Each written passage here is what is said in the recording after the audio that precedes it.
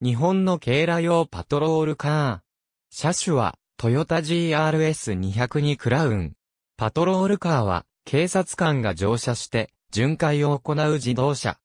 日本語では、パトロールカーという言葉が使われ、それは、警察官が乗って、犯罪の予防、検挙や、交通の指導、取り締まりのために巡回するのに用いる自動車のことで、ある。日本語では、パトカーと略す。警ら車または警ら車とも言う。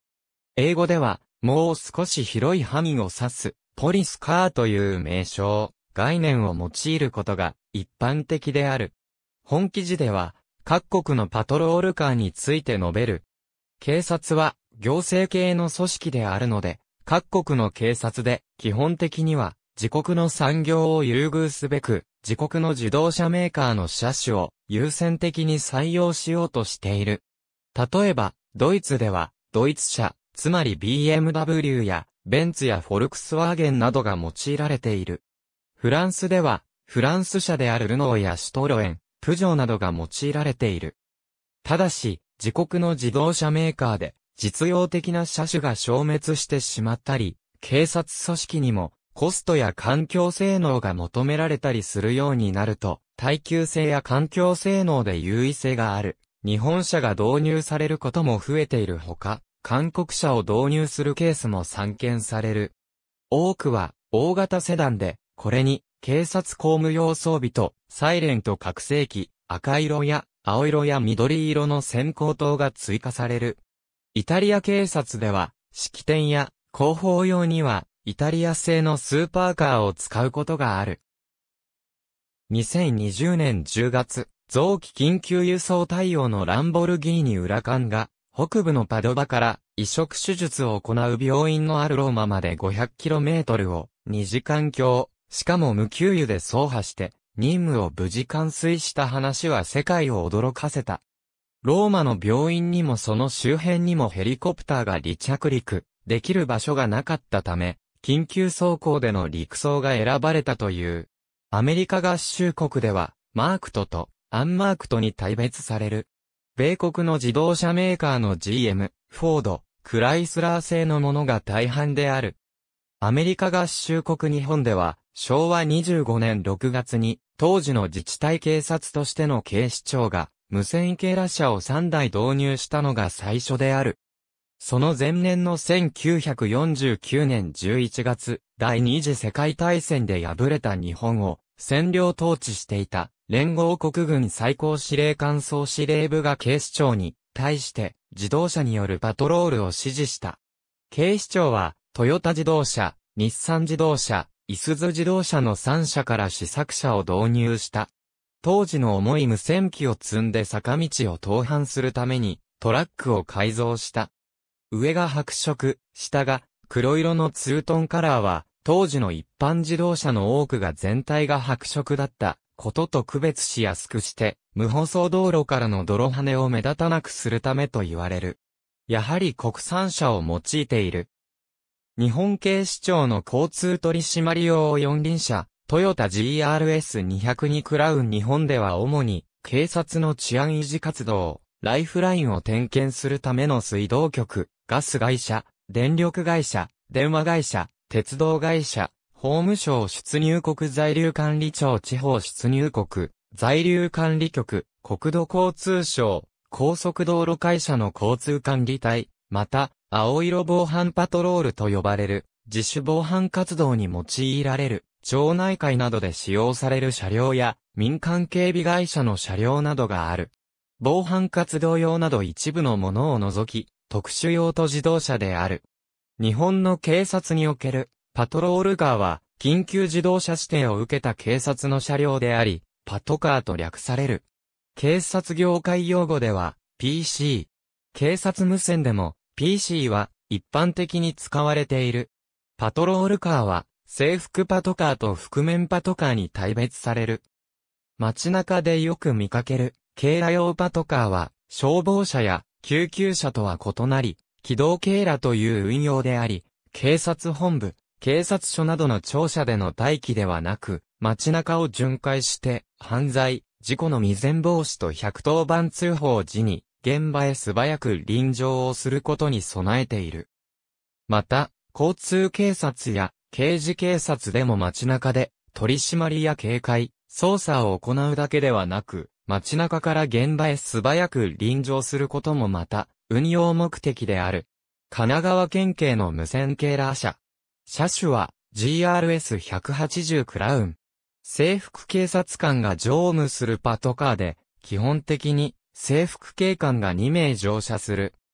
警察署の地域課自動車警ら係や、交通課、自動車警ら隊、高速隊などに配置され、正式には、交通取締用の車両を、交通取締用四輪車、主に、パトロール用のものを、無線警ら車という。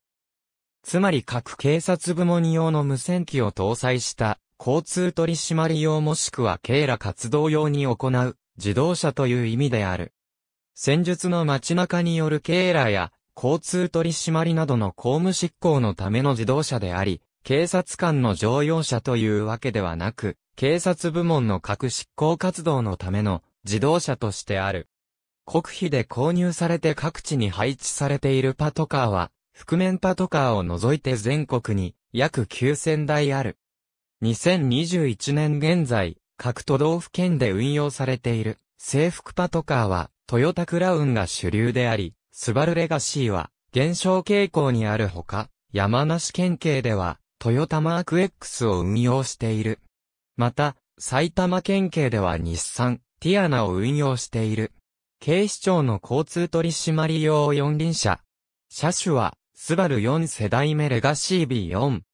これは警察において最も数が多いパトカーで、日本の警察では主に地域警察の警ら活動、交通警察の事故や違反の抑止、刑事警察における捜査、犯罪警戒活動において使用される。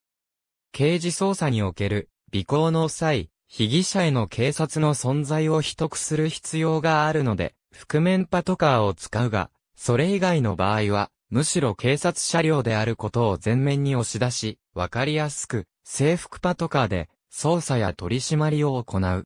車両のデザインについて、警察庁では、車体を白黒色に塗り上部及び前面に赤色系光灯と覚醒器を備え、横部に都道府県名を表記するという指針がある。1950年に登場したパトロールカー、自治体警察の一部で導入されたジープ等の車両の塗装は白色一色であった。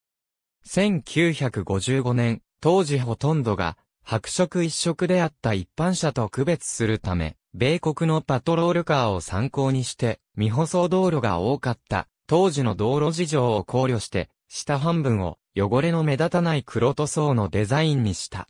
しかし細かな規定はなく、各都道府県警により塗り分け方や軽光灯の形状などが微妙に異なっている。文字表記は道府県によって県警と県警察に分かれている。香川県警察では以前は香川県警だったが、近年導入された車両では香川県警察に変更されている。事態についても様々であるが、石川県警のように明朝からだからゴシック隊に変更された地域もある。現在、明朝体を使用しているのは、鹿児島県警や熊本県警など少数である。岐阜県警は、高速隊のみ、フロントドア下側に白抜きで、岐阜県警と書かれている。ポリス表記はなし。青森県警は、フロントドア下側に、白抜きで白鳥のイラストが描かれている。大分県警は、以前は、アメリカの車両のように赤色と青色の混合 OK、光灯を装備していた車両も存在したが、これは、皇族経営の際に使用された車両である。皇族経営では地域を問わず車列先導を担当する制服パトカーは、参考式系光灯の片側もしくは一部のカバーを青色に付け替えた車両を用いる慣習であるが、近年は赤色灯はそのままで着脱式流線型の青色系光灯を追加する方法が主流となった。また、2008年12月に福岡県で開催された日中間首脳会談の警護の際は、警護対象者を識別するため、国ごとに異なる色の系光灯を装備していた。なお日本は赤と青の混合の全面系光灯、韓国は赤と青の混合の系光灯、中国は赤と緑の混合の系光灯である。また、在日米軍が所有する一部のパトカーも、青と赤混合の系光灯を装備した車両がある。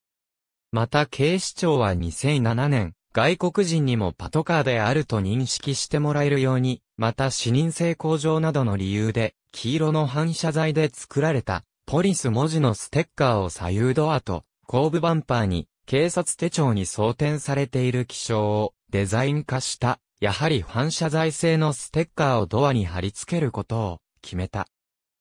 パトカーは警察の証として赤色系光灯やサイレンを装備しているのではなく、軽光灯、サイレンは道路運送車両法に定められた緊急通行車両の緊急走行時の安全装備として取り付けている。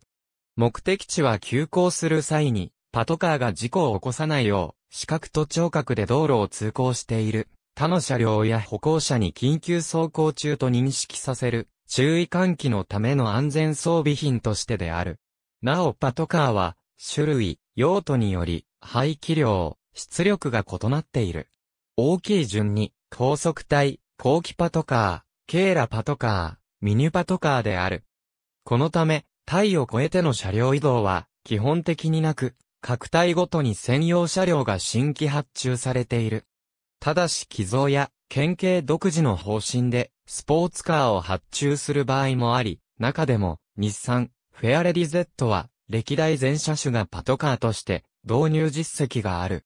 また多くのパトロールカーには屋根に所属警察署、対名略号と号車数字が表記されており、警視庁や一部の警察本部では、フロントガラスにも、この表記がある。一例として、警視庁麹町警察署所属の1号車であれば、フロントガラスに、麹町1、屋根には、麹1、本部302号車なら、302、高速道路交通警察隊、所属3号車なら、高速3、屋根には、速3など、警察無線の識別信号を兼ねているため、警察官は無線更新時、最初にその番号を名乗ることになっている。例えば、警視庁の本部217号車の場合は、警視217から警視庁、現在00交差点付近を左折、南進、ということになる。特に屋根上の表記は、対空表記と呼ばれ、ヘリコプターを運用する航空隊員が地上の車両と無線更新をする際にコールサインを把握する目的がある。そのため、警察ヘリと交信するため、機関系警察無線を基本的には車載していない、ミニパットなどの交通執行車両や交番、駐在所配備車両には、対空表記がないものが多い。秘匿の用をなさなくなるため、覆面パトカーにも通常は表記されない。交通取締用の覆面パトカー覆面パトカーは、平時の外観は一般車両と同じ様相をしており、緊急走行開始時や対象車検挙時にのみ、赤色灯を露出させサイレンを鳴らすパトカーを言う。パトカーであると気づかれずに、不審車両や不審人物への職務質問ができるので、不審者を取り逃がす可能性が少ない。正式には取り締まりに要するものを、交通取締り用四輪車、要人警護に要するものを、警護車、犯罪捜査のように供するものを、捜査車両と言い、総称して、この3種を覆面パトカーと呼び単に、覆面や覆面車と略される時もある。ただし、捜査車両の中には、緊急自動車指定を受けておらず、着脱式赤色回転灯とサイレンを装備していない一般車両も存在する。また覆面パトに乗務する警察官は必ずしも警察の制服を着ているとは限らず、私服警察官として、一般人と同じ服装でパトロールを行う場合もある。警ら、交通機動隊の覆面パト隊員は、制服、ヘルメット着用、機装の覆面パト隊員は、背広着用というのが一般的だが、私服の場合もある。偽警官と間違われないように、警察手帳を常備している。セダンやミニバンでも、男性二人、共に前席に乗っていれば、パトカーの可能性がある。外装上の特徴として、警察無線用のアンテナがある。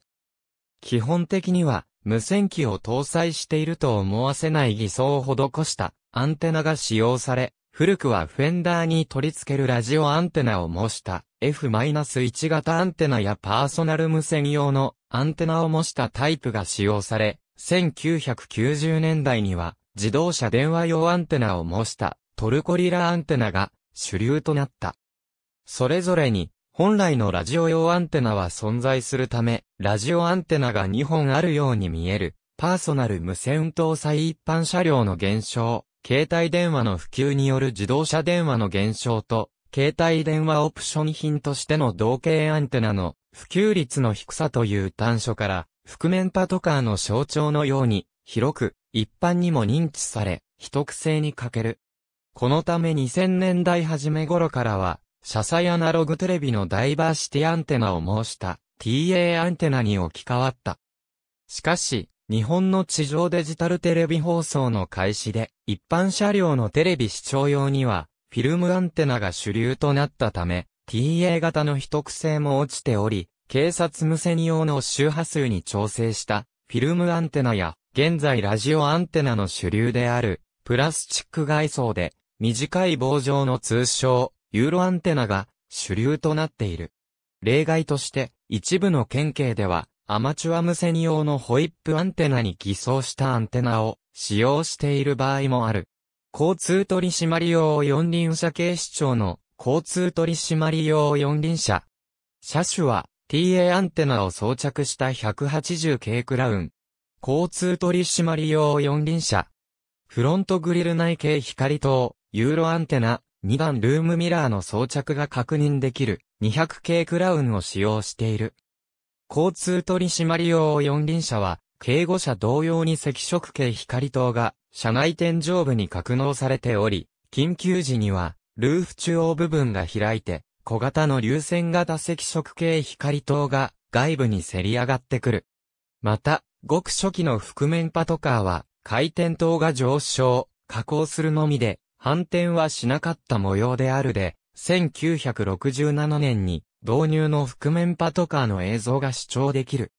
交通覆面パトカーは、交通機動隊や高速道路交通警察隊、また警察署の交通課などに配備されて、主に交通取締りを行っている。交通機動隊など、交通違反取締りを行う車両には、屋根中央部分から格納されている赤色灯が車内のスイッチ操作により、自動的にせり上がるようになっている。そのため、車内天井には反転灯を収納する場所のくぼみがある。また、車内に乗っている警察官は原則として交通機動隊の青色制服、または合皮性黒色制服を着用することになっているので、車内をよく観察すれば警察車両であると判別できる。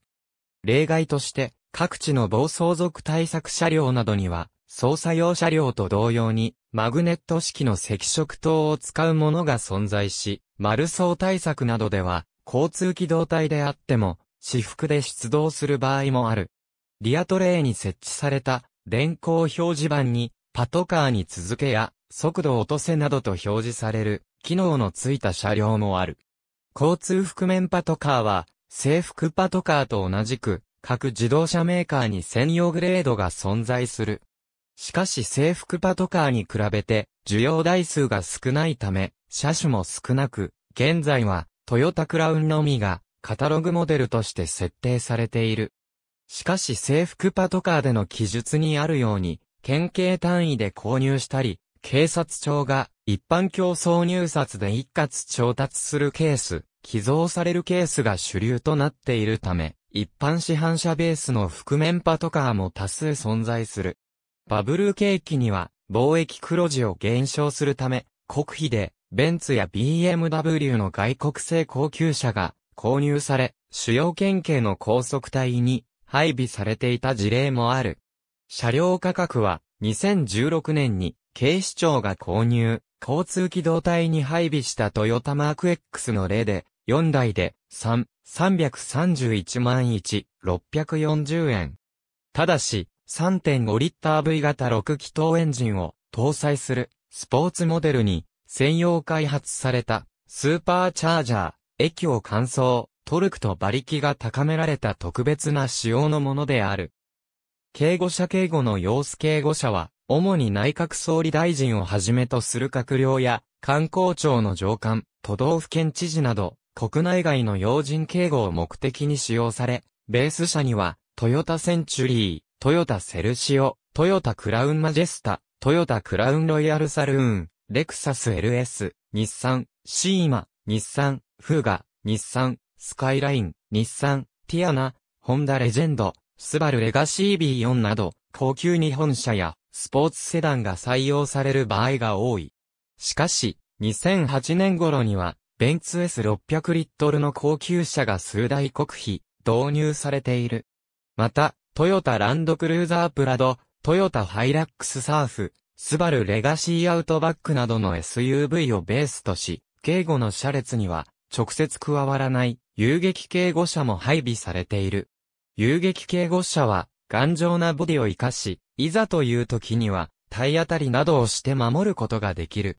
一部の車両を除き、交通取締用四輪車同様に、赤色系光灯が車内天井部に格納されており、ルーフ中央部分が開いて、小型の流線型赤色系光灯が外部にせり上がってくる。全面赤色系光灯は、フロントグリルの中に取り付けられているのが一般であるが、近年は全国的に視認性を高める目的で、LED の全面赤色系光灯を装備する思考にある。このうちセルシオなど、大排気量車の中には、防弾ガラス仕様も存在する。なお基本的な仕組みは、交通取締用四輪車と同じであるが主に、白黒パトカーに装着されている補助ミラーを装着しており、業務上必要ない速度計測用の機器を装備しないなど細部に違いがある。警護車を使った警備については、警護車を1台ないしは2台利用して、車列を作り、警護対象者の乗る対象者の前で先導するか、対象者の後から追尾するスタイルが一般的である。なお、この場合では警護車は緊急自動車とならず、車列の走行に障害となる一般の交通を一時停止させるため、乗務する SP が警護車から身を乗り出し、誘導灯を振るなどして、一般車などを排除しながら走行する。捜査車両捜査車両は、機動捜査隊、警察署の刑事課や、生活安全課などに配備され、私服の刑事警察官が乗務し、操作などを行う車両。1500cc 以下で、なおかつ、全長 4500mm 以下で5ナンバーサイズの枠内に入る小型自動車ないし軽自動車を用いたパトカーで、制服パトカーと覆面パトカーの2種あるが、一般的に現場では、ミニパトと呼ぶのは、本所から比較的遠方の交番や駐在所に配備される小型警ら車と、もっぱら違法駐車の取り締まりや街頭での交通整理や指導を行うために使われる、所轄署の交通課や交通機動隊に配備される軽自動車1。500cc 程度の制服パトカーを指すことが多い。小型警ら車と呼ばれる前車は1974年、全国100カ所の道路事情や気象条件の厳しい駐在所に初めて配備された。政府により国費で 1000cc1500cc クラスのものが大量導入され、全国に配備されるため、街頭でも比較的見かける機会が多い。年度によっては 4WD 指定で入札が行われることがあり、2WD 社の入札も行われる場合、その年度は2車種配備されることもある。また、都道府県費での調達も少なからずあり、その場合は、政府調達の車種と違った車種が導入されることもある。現場でミニパトと呼ばれることが多い校舎は、特に警視庁のような大都市圏では、軽自動車を採用することが多く、取り締まりの際にパトカーを停車させるスペースさえも確保しづらい混雑した道路では威力を発揮する。地方都市では、いわゆるリッターカーと呼ばれるクラスを採用する傾向が多く、管轄が広く移動距離が比較的長くなることでの耐久性などを考慮しているものと思われる。調達はいずれも都道府県費によるものが大多数を占めるため、全国的に統一された車種ということはない。赤色回転灯とサイレンアンプを搭載して、道路交通法施行令による緊急自動車の指定を受けている。ソリオインサイトプラッツパッソ国費導入された小型警ら車の代表的車種都道府県費で導入された車種は、軽自動車は3ナンバー規格のボディが用いられた小型車また、ミラ、エッセ、キャスト、ハイゼットカーゴ、ミニカ、アルト、エブリーなどの軽自動車が特に警視庁などの大都市圏で多く見られる。装備に関しては、無線軽ラ車と呼ばれる、クラウンなどの制服パトカーよりも、簡素化されているのが通例で、速度取締り用のストップメーターや、車載型の無線機などは、装備されていないことが多い。そのため、多くの警察本部では、小型警ラ車の運用要領などを定め、乗車する警察官は、携帯無線機や無線受令機を携行するよう定めている。多くの車両にはアンテナは設置されており、これに接続されたケーブルを無線機に接続し、運用することも多い。一部の車両では、データ通信端末やカーロケーションシステムなどを搭載している。また、近年無線系ラ車に装備が進むカーナビゲーションは、運用性格上あまり必要とされていないためか、装備されていることは、ほとんどない。無線系ラ車と異なり、パトカー専用グレードで製作されるものではなく、市販車がベースであるため、ベース車の装備はそのまま残されている。赤色灯は小型の参考式系光灯が取り付けられているが、ブーメランタイプについては他のパトカーと同じである。交通取締り用四輪車たる、パトカーの内装及び装備品赤色灯を上昇させた。パトカーバグガードを装着した。パトカー高速帯パトカーの後部、電光掲示板パトカーの後席右側のドアは内側から開かない場合があるが、これは一般車でも装備されている、チャイルドロックがされているだけであって、特別なことではない。トランクに積まれている、主な用具パトライト昇降機構非装備のパトカーでは、トランク外内側に回転灯を左右に一つずつ装備している車両もある。その他、パトカー乗務時に、警察官は、所轄地域の住宅地図や道路地図、クリップボード、ノート、筆記用具、デジタルカメラビデオカメラ、メモ用紙、携帯無線機、警笛などを携行する。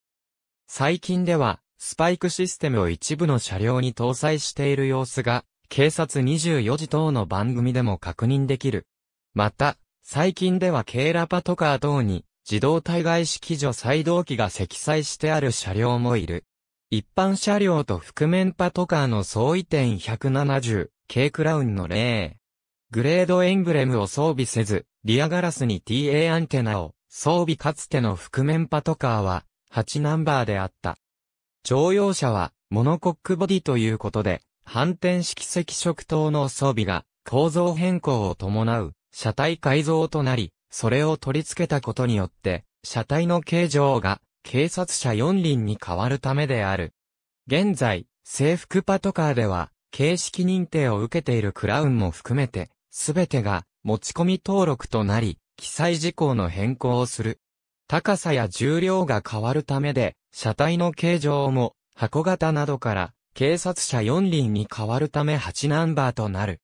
赤色灯等の取り付けのために、ボディに穴を開けたり、エンジンやミッションなどを乗せ替えたりしている場合もあるため、こういった場合は、構造変更の検査、登録も同時に行う。サンルーフ使用者を仮想ベース車とすることにより、構造変更要件をパスしている車両もあるとされる。覆面パトカーは、車両の入れ替えなどにより、大部分が3ナンバー、または5ナンバーになっている。しかし、注意して観察すると、下記の特徴、相違点を乱すことができる。パトカー専用モデル、あるいはパトカー仕様を持つ車種は、トヨタが、ジープ BJ、ランドクルーザー、トヨタパトロール、トヨタパトロールカー、クラウンパトロールカー、マーク2、日産が、パトロール、セドリック、グロリア、クルー、スカイライン、すでに生産を中止しているメーカーのものでは、三菱のギャランシグマ、シグマ、マツダのルーチェなどが挙げられる。購入、配置警察庁が購入し、各都道府県警に配備する国費配置車と各県が購入する県費配置車が存在するが、大量に要する国費配置車は、現在国産で唯一パトロールカー専用グレードを持つトヨタクラウンパトロールカーが圧倒的に多く、最近は軽ラ用や交番配置用としてパッソソリオなどが国費、または県費で大量に購入されることが多い。ただ、専用グレードがないため国費と県費、また、購入時期によって導入するグレードが違う場合もある。エスティマ、ティアナ、日産、サファリなど少数存在するが、都県費での購入となり、台数も少ない。また最近では、地域事情からメーカーで、パトカー専用グレードを設定していない車種を県費で購入するケースもあり、青森県警のレガシー B4 などがこれに当てはまる。財政事情の悪化により、数十台分という予算を一括計上することが困難になっていることから、一部においては購入ではなく、リース導入する例もあり、このような車も緊急自動車として、サイレン、赤色灯を装備している。消防車や救急車においては、古くからリース導入の実績はあったものの、これらは一般のリース車と異なりた用途への転用や中古市場への流通ができないことから、クローズドエンドリースであり、リースアップ後は廃車される。パトカーは各自動車メーカーにパトロールカー、パトカーというグレードが市販モデルと別に存在しており、一般車と同じようにカタログもある。このカタログは警察関係者以外は請求できない。また、警察庁の規格に適合するために作られた警察納入専用グレードがある車両もある。パトカーの寄贈ホンダから寄贈された栃木県警の NSX 自動車メーカーから直接寄贈されているケースも存在する。神奈川県警察の歴代フェアレディ Z、スカイライン GT-R、栃木県警の NSX が代表的な例である。また、有志の一般人によるものもある。一方、外国車の場合は、地元有志による寄贈が多いと言われている。また、日本国政府は、東南アジア諸国の治安対策を支援するため、フィリピンやベトナムにパトカーを提供している。退役と廃車年間で3万キロメートル以上走り、5から6年で新車と更新される。ほとんどのパトカーは退役する。悪用防止の観点から、消防車や救急車などと異なり、一般への払い下げはされず、無線機等の保安上の問題となる資機材を撤去、もしくは破壊し、一般の修理工場などに送られ廃車手続きを行って解体処分される。稀に例外として、綿密な検査で耐久寿命が残っている車両が高速帯仕様から軽ラ仕様にダウングレードされて再度パトカーとして使われたり、表記を所属警察のものから交通安全指導者などと書き換え、交通安全協会等へ送られて、交通指導者として、予請を送るもの、新潟県警のポルシェ911のように、イベント用として残されるものなどもある。また、覆面パトカーの一部は、警察での用途廃止後はそのまま自衛隊等に置かれる、司法警察組織へ譲渡される場合もある。パトカー専用モデルの詳細初代のトヨタジープ、BJ 型は、警察予備隊の小型汎用車両の競争入札に参加する目的で設計された。結果として、競合車であった日産 4W60 型と共にウィリスジープのノックダウン生産である三菱ジープの前に敗れ、民主の道を模索することになる。そのような中、頑丈な車種と強力な B 型エンジンが評価され、国家地方警察の警ら車両として採用される。二代目の J20 系では国警向けに力を注いだ。結果、全ラインナップの半数が後輪駆動となる。初代の途中で消防用車種向けに追加されたより新しい F 型エンジンもすべてのモデルで選べるようになる。J40K は、ジープ、BJ や J20K の置き換えや補充用として納入されてはいたが、この頃になると、国産乗用車の性能や信頼性が高まり、道路舗装も進んだことから、機動隊や消防指揮車を除き、一般的な軽ラ車両は S40 系クラウンをベースとしたトヨタパトロールへと移行してゆく。BDR はトヨタパトロールの試作車で小型トラックと同様のはしご型フレームを持ち、サスペンションも全後輪ともにリーフリジッドである。形式からもわかるように、エンジンは戦前に設計された大型トラックバス用の初代 B 型であり、これはジープ、BJ や20系ランドクルーザーとも共通である。トランスミッションも小型トラック用の3速 MT の歯車比を変更したもので、6.00から16のタイヤサイズもやはり小型トラックと共通である。この時代の RSK クラウンは、排気量 1500cc、出力は48馬力と、非力なため、白黒のパトロールカーはなかった。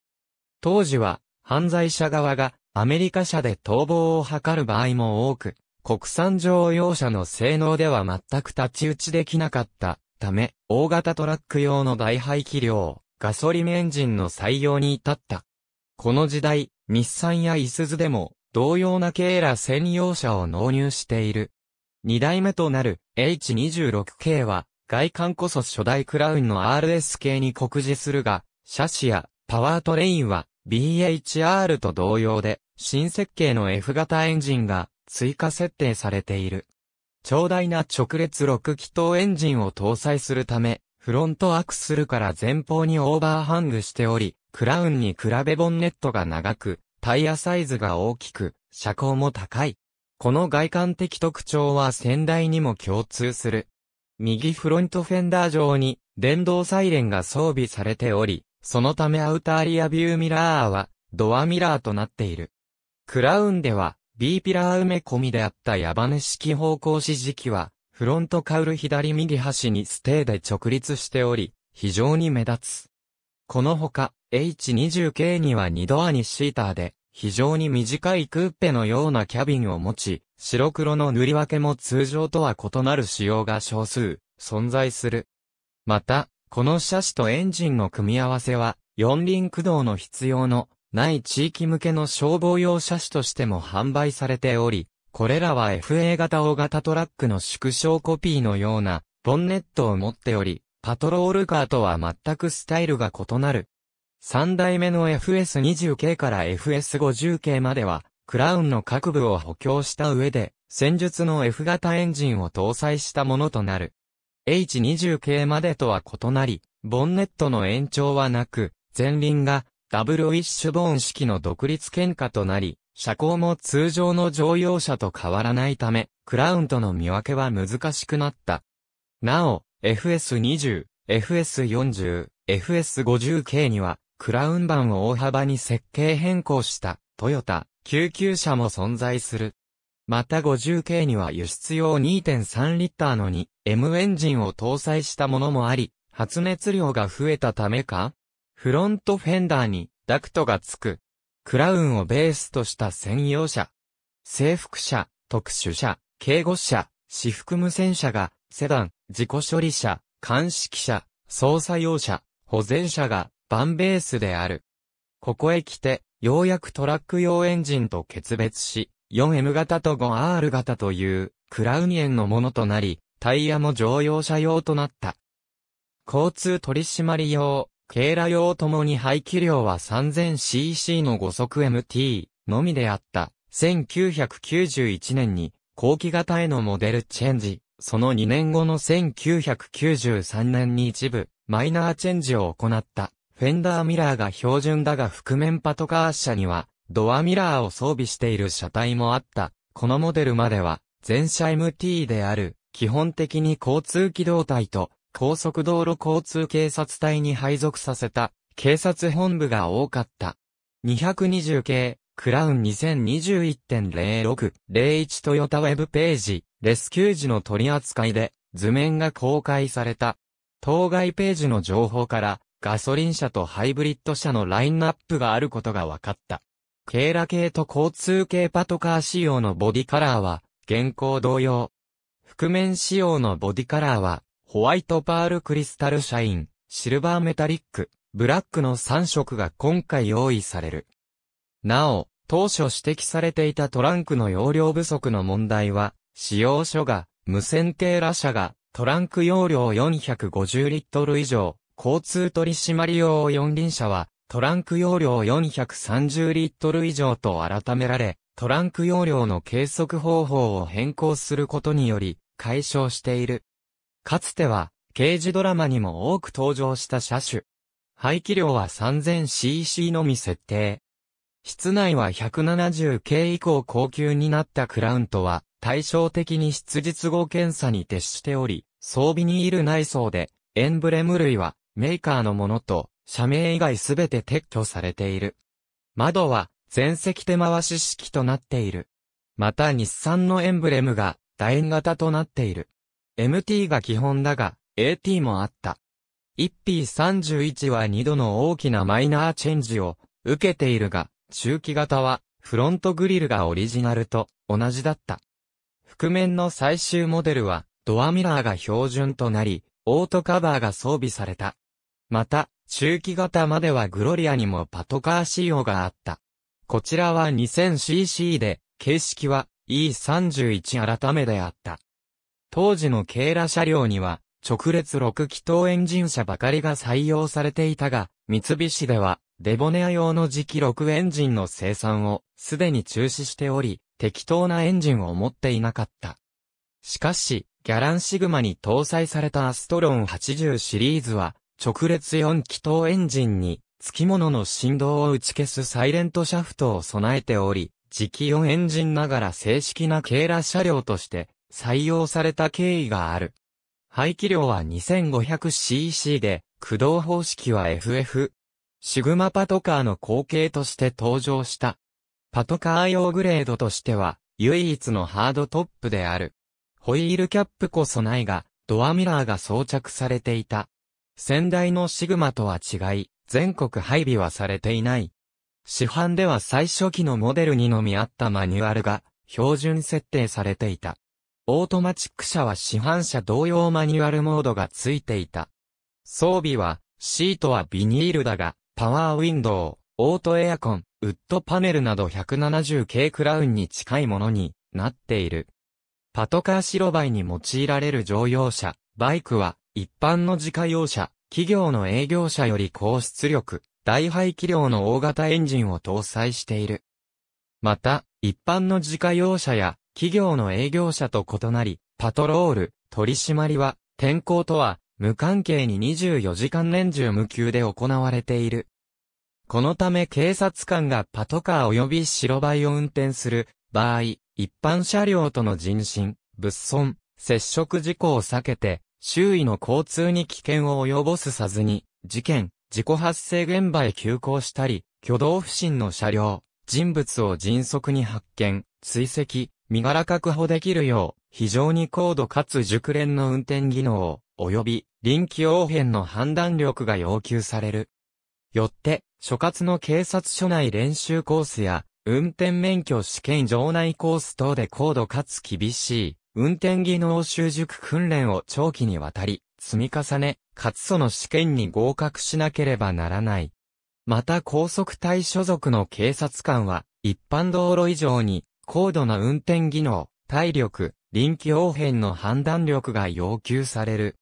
なお、新人警察官は、場内コースにおける走行訓練、教習のみならず、パトカー警ら中も、先輩、上司警察官から、運転技能等を、徹底的に叩き込まれる。さらに、積雪の多い地方においては、スリップ事故を起こさぬよう、下記の乾燥路面以上に慎重かつ迅速な運転が要求される。このため、全警察官に対し冬道安全運転技能、向上訓練が課されている。なお検定は1級から4級まであり、緊急走行をする場合は2級以上の検定に合格しなければならない。またパトカー運転訓練指導員になるためには最も難関である一級の検定に合格する必要がある。加えて、パトカー及び白バイ運転技能講座も毎年実施されており、これに不合格となった警察官はパトカー白バイの運転が一定期間できなくなる。パトカー運転資格の車種区分は各都道府県警により異なっており、警視庁の場合、運転資格は軽自動車限定とそれ以外の2種類であり、公用車の運転には緊急走行を行わない一般職員であっても同じ資格を取得しなければならない。技能試験は緊急車両向けの特殊な項目や高度な技術が必要なものは存在せず、免許試験場における普通免許の実技試験と全く同一の内容である。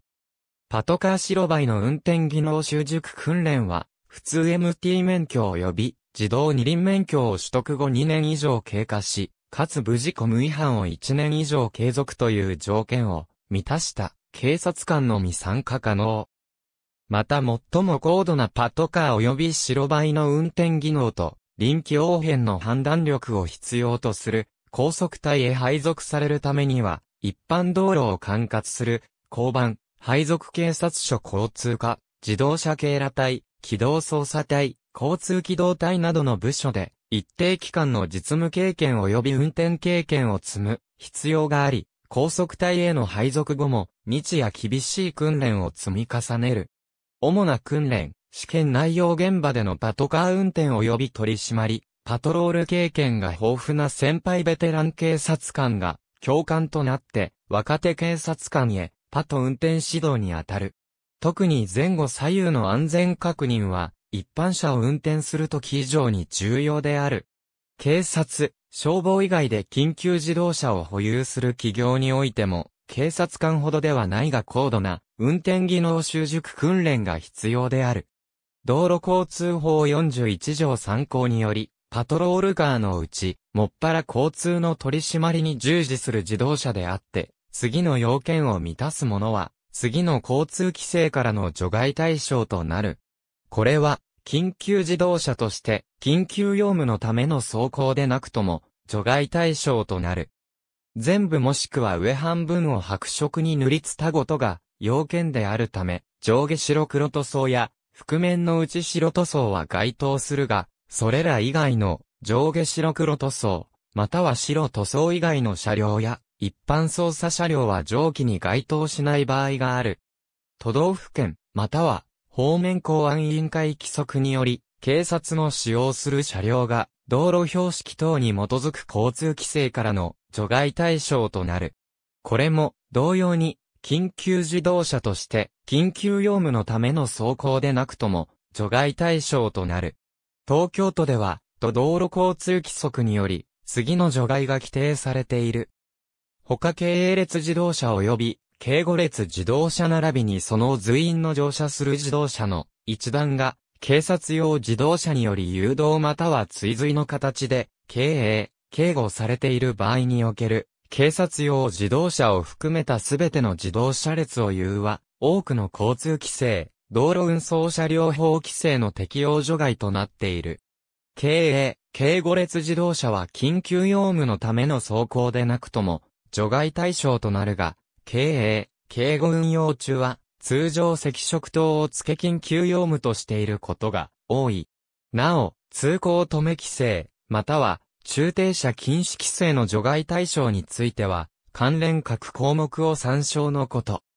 青色防犯パトロールは、防犯活動を認められた団体が、自主防犯パトロールとして、実施を許可された青色回転灯装備の自主、防犯活動用自動車で、一般自動車への青色回転灯装備は、法令で禁止されているが、2004年12月1日より、警察からの自主防犯パトロールを適正に行うことができると証明を受けた団体は、青色回転灯の装備が認められている。申請は、パトロール地域を管轄する警察署を通じ行い、パトロール実施者証の交付後、約2年ごとに、青色防犯パトロール講習を受講しなければならない。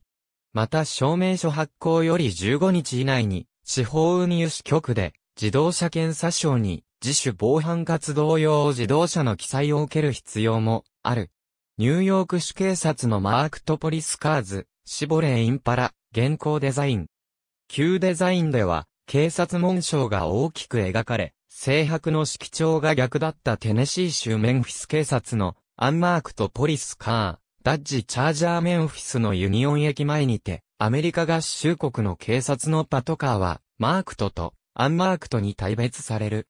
Marked は、日本でいうところの白黒パトカー。車体に、警察機関名、バッジのイラスト、 Police、Highway Patrol、State Trooper といったマークが施されているもの。塗装は、カリフォルニア州で多く見られるような白黒も存在するが、後述するように中古で出すこともあるため、専用の塗装はせず、単色のボディに、ステッカーのマークを貼り付けているだけの場合も多く見られる。図柄は、期間の数だけあると言っても、過言ではない。基本的に警ら任務に用いられるものを指すが、特殊部隊や特殊任務班で使用されるもので、マークが施されていれば含まれる。アンマークとは覆面パトカー。戦術のマークが施されていないという意味。アンダーカバーなどとも呼ばれる。用いられる車両は警ら用と同じ車種も多いが、中には個人所有の車両や押収した車両を、捜査車両として使用できる機関もあり、逮捕した禁制薬物の売人から押収した高級車が使用されていることもある。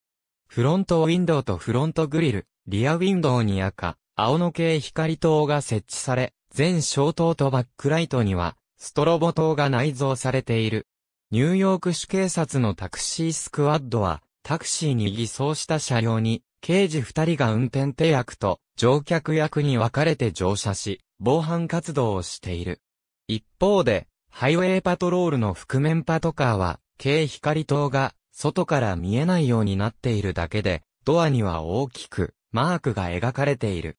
これは警察車と認識されないと、追尾した相手から強盗と勘違いされ最悪の場合は銃撃を受けることさえあるためである。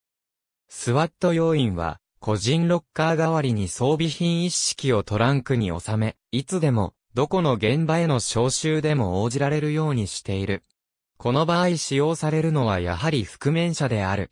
両者の中間的存在としてあるのが、ゴースト、ロープロ、ステルスなどと呼ばれる車両。単一の車体色に、車体と同型色あるいは目立たない衣装で警察を示す標識を施したもの。法令上は、マークと扱いになるものの通常のパトカーと比べて、それと認識しづらくなっており、その機能を活かして、交通取締りや防犯活動に用いられる。以下で述べる覆面パトカーの運用制約があるかな、いかに関わらず、各州各地の警察で運用されている。なお、アメリカ合衆国における覆面パトカーの運用体制は自治体ごとに異なる。例えば、オレゴン州警察、バージニア州警察、メリーランド州警察などでは、速度違反を含む幅広い捜査に覆面車両が投入されている。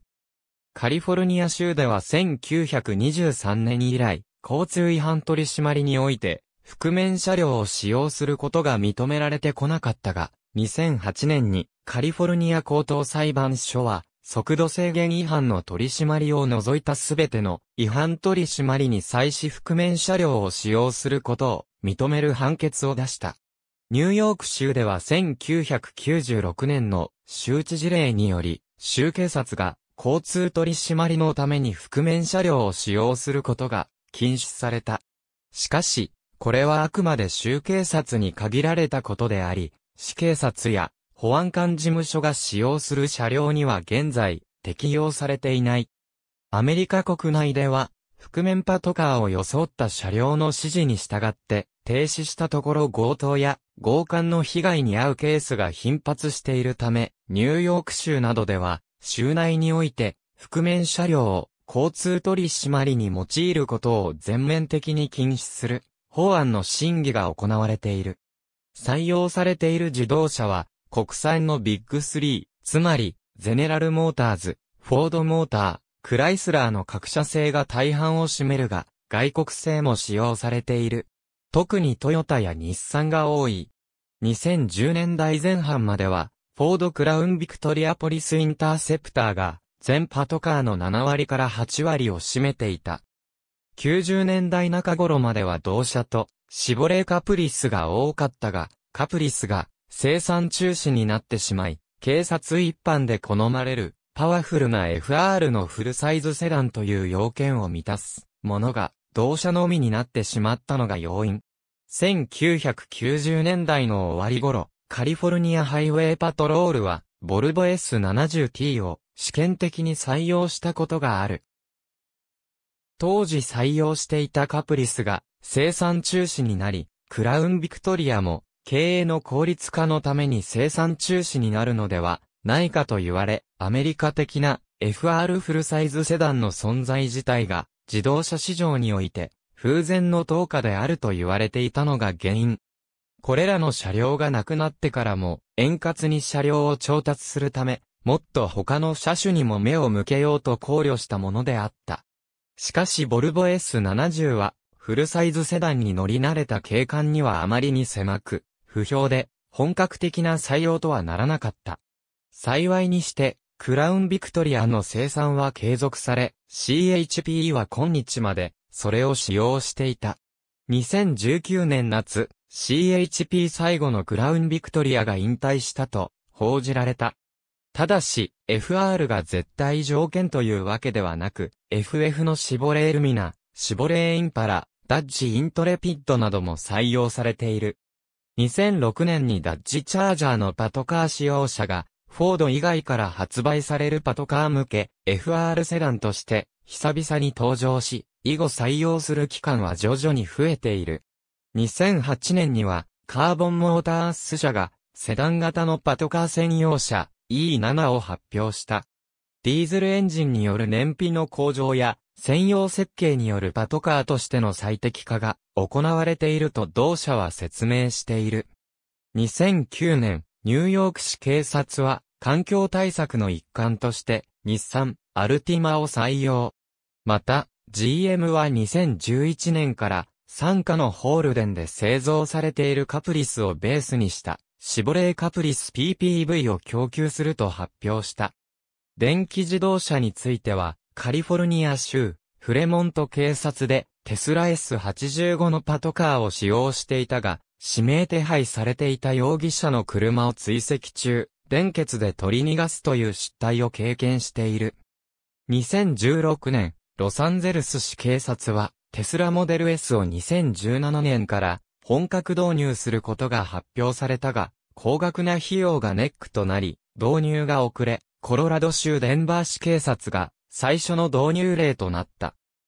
その他、管轄や目的によって、シボレーカプリスやダッジマグナムなどのステーションワゴン、シボレーコルベット、同カマロ、フォードマスタングなどのスポーツカー、シボレーサバーバン、シボレータホ、フォードエクスプローラー、フォードエクスペディション、ダッジ、デュランゴのような SUV、シボレーシルバラードや、フォードレンジャー、フォード F-150 などのピックアップトラック、シボレーエクスプレス、同アストロなどのバン、ハマーなどのオフロードビークルなども多く使用されている。特殊部隊では、機材と要員を運び現地対策本部にもなるバンが必須であるほか、発砲を避けて民間人を救出するために軽装甲車を配備することもある。2010年代後半からは、前述のクラウンビクトリアが生産終了したこともあり、また様々な要件から SUV のフォードエクスプローラーをベースにしたポリスインターセプターユーティリティがシェアを伸ばしており、クラウンビクトリアに代わる主力車両となっている。一般的にポリスパッケージ、ポリスインターセプターと呼ばれるもの。フォードは P71、GM は QC1、B4C などといった商品コードを使用している。土台となる車種からの変更点としては、エンジンの出力向上、ラジエーターやバッテリーの大容量化、伝送品の耐久性向上、足回りの強化、内装の簡素化といったもの。メーカー出荷時にワーニングライトやサイレンなどを装備することもできるが、後述するように実際にはその警察ごとに装備の仕方は異なるので、購入後に緊急車両専門の架装業者に依頼することも多い。大きな自治体や警察組織では自前の工場を持っていたりする。現在販売中のもの販売が終了したもの、シボレーインパラフォードポリスレスポンダー、ハイブリッド開発中止になったもの、アメリカでは期間ごとの方針で、パトカーの装備は異なり、上記の写真で見られるようにプッシュバンパー一つとっても、まちまち。装備品の製造メーカーも多く、同じ機能を目的としていても様々な製品がある。LED 式系光灯ミシガン州警察のダッジチャージャー。ボンネットに設置されているのが、シャークフィン日本で使用されているものと、機能や形状は、おおむね同じだが、アメリカでは、ハロゲンやストロボ式以外にも LED 式が、かなり広く普及している。ハロゲンやストロボ式に比べ、LED 式は、かなり薄くできるのが特徴。高速走行で、空気抵抗が強くなると稀に軽光灯が風圧で、取り付け部からもげてしまうことがあるので、高速での追尾を行う CHP は、ハロゲン式ながら、より高速走行に耐えられる、フェデラルシグナル車の、ベクターを採用していた。しかし、LED 式の方が、空力的に優れており、また軽光灯としての性能も十分であることから、LED 式に変更した。近年では、ハイウェイパトロール以外でも、フェデラルシグナル社のビジョン SLR、バローなどの LED 式、ライトバーを採用する機関が増えている。トランクに自動車ナンバー自動読み取り装置が設置されたアレクサンドリア市警察のパトカーアメリカでは地域警察の中核にパトカーによる警ら活動がある。日本のような交番制度がごく一部にしかなく、日本と比べてはるかに広い管轄を守るには自動車が必要不可欠である。またそういった事情から全くの新人が最初にパトロール部門に配属される点は日本と同じだが、新人もまたパトカーの乗務から警察官としてのキャリアを始めることが一般的である。故に、パトカー運転技術の習得は、すべての警察官にとって必須になっており、警察学校で初任教育を受ける警察官は全員が操縦課程を受講しなければならない。緊急車両の操縦技術訓練は、エマージェンシービヒクルオペレーターコース通称、ボックと総称され、直訳すると、緊急自動車操縦者課程になる。初任の候補生が受ける、基本的なものから、現職が受ける操縦訓練、白バイの操縦訓練などを包括する。訓練内容は故意に車をスピンさせるもの、パイロンで作られたコースを走る前走車を追尾するもの、3箇所、ある、信号機のうち、青になったところを瞬時に判断して通過するものなど、様々。アメリカの映画や、ドキュメンタリー番組で見られる、車体を被疑車両にぶつける強制停止措置、ピットマヌーバーの訓練もボックに定められる。ピットは、基本的な訓練には含まれず、後に、所定の訓練を受けなければならない。また、ピット資格を有していない、警察官は実施することができない。車両を被疑車両にぶつけてスピンさせるなどし、逃走の継続を阻止する強制停止措置。ピットの意味には、諸説あり、 Pursuit Immobilization Technique、 Precision Immobilization Technique、 Push It Tough など。いずれにしても、逃走を阻止するために車体をぶつけて、被疑車両を押す、という意味が含まれる。なお、スピンさせたからといって、被疑車両が必ずしも走行不能になるわけではないので、体勢を立て直して引き続き逃走するケースも見られる。このようなケースを防ぐために、スピンして停止した車両を他の警察車両で取り囲んで銃を向け運転者を降車させたり、場合によっては前後、左右から警察車両をぶつけて完全に包囲することもある。ピットは以下の3つの過程を経る。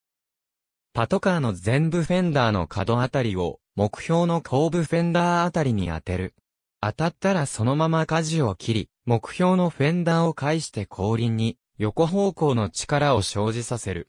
目標は後輪に発生した横方向の力により、安定を失ってスピンする。実行にあっては、管轄機関の当直責任者などの指令に基づく必要があるのが一般的。おおむね時速50マイル以下では、致死性の威力行使とはならず、ピットの違法性は阻却される。しかし最近では横滑り防止装置の普及により、後輪に外部から横方向の力を入力しても装置が減衰してしまうため、ピットの効果が薄れているとの見解もある。このようにピットは、制度として、現在は確立されており、警察官が思いつきでぶつけているわけではない。よって、同様のことを、日本の警察官がやることはできず、もし場当たり的にやった場合はその警察官を呼び、都道府県警察が、刑事、民事双方で、違法性が問われる恐れがある。もし、日本で行うには、ピットを行うための法整備及び訓練や、実施制度の確立が不可欠であろう。警察車両はその性能が、任務や運営費を左右することから、警察独自の評価制度を設けて、警察向け車両の試験を行うことがある。いわば、警察車両アセスメントであろう。有名なものは、ミシガン州警察とロサンゼルス軍保安官によって実施される試験。これらの機関では、毎年各メーカーの警察向け自動車及びオートバイを集めて試験を実施しており、試験内容やその結果は一般にも公表されている。試験項目は周回路でのラップタイム、急加速、急制動、追尾を想定した走行試験、燃費、居住性、無線など機器の設置性、快適性、整備性など多岐に及ぶ。審査は、ミシガン州警察は、警察官及び、民間の協力者によるテストチームが、ロサンゼルス軍保安官のものは、同軍保安官助手とロス市警警察官の合同テストチームが、それぞれ言っている。これら以外の機関でも調達にあたって、独自のテストを行うことがあり、性能やコストのバランスが勘案される。よって、調達単価が安ければ採用されるとは限らない。日本で登録された中古パトカー国民から徴収した税金で調達した装備を国民に還元する。また、不要となる資産から売却益を得るという考え方から日本とは異なり、警察が競売などで積極的に売却しているため、中古パトカーは広く流通しており、中古パトカー専門業者も数多くある。新車市場が年間7万台ほどのようなので、単純に考えて、毎年数万台のパトカーが中古として放出されていることになる。放出車は、ワーニングライトやラジオなどの警察用装備は取り外された状態にされ、入札によって売却先を決定する。戦術の専門業者が落札することも多い。そのようにして放出されたパトカーは、予算規模の小さい警察が購入して、再び、パトカーとして使用することもあれば、タクシーとして使用されるもの、一般の中古車と同様に個人の自家用車として使用されるものがある。中には熱心なパトカー愛好家により、再びパトカーの装備を施されて、趣味として楽まれる車もある。そのような再びパトカー仕様に改造された車は、日本からでも購入可能であり、日本の保安基準を満たしていれば登録して実用することも可能である。パトカーは酷使される一方で整備が行き届いている個体が多いので、長持ちすることを考えて、あえてパトカーを購入する者もいる。アメリカではアマチュアが参加するドラッグレースなどの草レースが盛んだが、これに、レース仕様のパトカーが時々出ている。ほとんどが、警官による、自主的な広報活動を目的としたもので、麻薬追放や行動における違法レースの撲滅、及び合法レースへの参加を呼びかけるものが多い。車両購入と改造、レース出場にかかる、諸費用は、警官有志が自費負担している。車両は、基本的にそのレースの種類に応じた、レーシングカーで、軽光灯などを装備して、パトカーとしているのが特徴。所属している機関の許可が出れば、公式シンボルマークや名称ロゴを車体に施すこともある。広辞苑第6版、パトロールカー、名教国語辞典、第2版、パトロールカー。ABC デジタル大事戦、パトロールカー、ランボルギーニで腎臓を緊急運搬。イタリア警察、時速230キロで高速道路を疾走する。ハフポスト、パトカーの遠隔。警視庁。2018年2月1日閲覧。ABCDEFG、ニュースの門、パトカー不審者は見逃さぬ。読売新聞長官2021年4月13日、警察の本当嘘岡山県警察採用情報、岡山県ホームページ、www.pref.okayama.jp。2019年2月17日閲覧。朝日新聞、質問。ドラえもん、パトカーの遠隔。警視庁。2018年2月1日閲覧。パトカー側面に、ポリス文字視認性工場へ、共同通信一部の地域で、交通機動隊へ覆面者として手直しし、配置換えしたこともある。KBC アーカイブズ、九州朝日放送日本警察史上、最速覆面パトカーの正体は、スーパーチャージャー搭載360馬力の本気仕様マーク X 日韓 SPA、2017年2月26日閲覧、蓮見誠一、パトカー警察車両徹底ガイド53から61ページ、蓮見誠一、パトカー警察車両徹底ガイド56ページ、蓮見誠一、パトカー警察車両徹底ガイド60ページ、蓮見誠一、パトカー警察車両徹底ガイド58ページ2020年5月7日、閲覧。で、フロントドアのみ、パワーウィンドウ。ただし、覆面用途やパトロールに使用しない一般業務向けに納入されたものには、同世代のスーパーデラックスと同様の部分、ファブリックシートの車両も存在した。クラウンパトカーが超、お買い得価格の驚き。東洋経済新報社。2021年5月8日閲覧。運転免許試験場が移転した場合、旧施設は都道府県警の車両運転訓練場へ転用される場合がある。警護要則、警護最速ロサンゼルス市警察とニューヨーク市、警察は他部署と同様、バッジではなく、指紋章とポリスや NYPD の文字。辰巳出版。世界の警察アメリカ編ピアニッシモ30密着。CHP オフィサー24時。ハットヒドゥンインプレーンサイト。ザゴーストコップカーズオブノースキャロライナザットプルオーバー。アンソスペクティングドライバーズ。ハットギャビンレスニック。ロープロフィールビークルズ。レッドステートポリスブレンドイントゥトラフィック。アーカンソーデモクラットガゼット。https www.arkinsonline.com ニュース2013オーガスト14ロープロフィールビークルズレッドステートポリスブレンドトラフィー2021年2月2日閲覧。 unmarked police cars encourage impersonators thenewspaper.com http://www.thenewspaper.com slash news slash 18スラッシュ 1854.asp2010 年1月4日閲覧。ティム・キング、 video Oregon police increasingly using、unmarked vehicles for traffic stops。salem-news.com http://www.salem-news.com slash articles slash APRIL072009 slash unmarked cops TK4 から7から09 PHP2010 年1月4日閲覧ダイヤー V デパートメントオブモータービークルズ。カリフォルニアコートオブアピール。サードアペレットディストリクト。2010年1月4日閲覧。